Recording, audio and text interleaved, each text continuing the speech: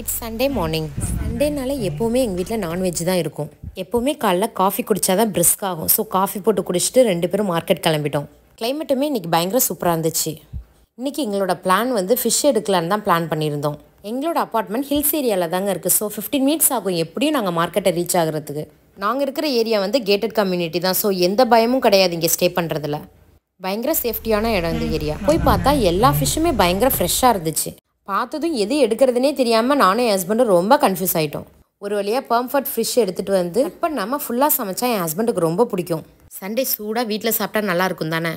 புது மீனுன்றதுனால இந்த தடவை டேஸ்ட்டு செம சூப்பர் உங்கள் யாருக்கெல்லாம் இந்த மாதிரி பம்ஃபர்ட் ஃப்ரை செஞ்சால் பிடிக்கும்னு கீழே கமெண்ட் பண்ணுங்கள் நாளைக்கு சூப்பர் இன்ட்ரெஸ்டிங்கான வீடியோவில் பார்க்கலாம். Okay bye